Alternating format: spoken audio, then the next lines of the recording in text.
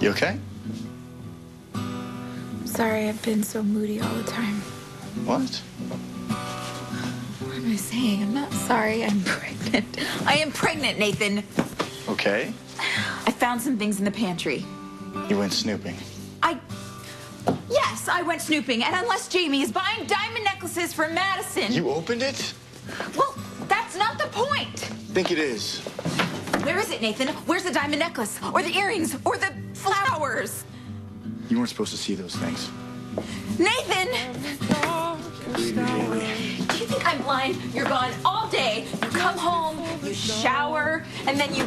I'm slowly sinking into the slough of despair. You love me. Of course I do, you dork. With all my heart I do. Here we go. Come on. You got me Ho Hos. I really wanted these.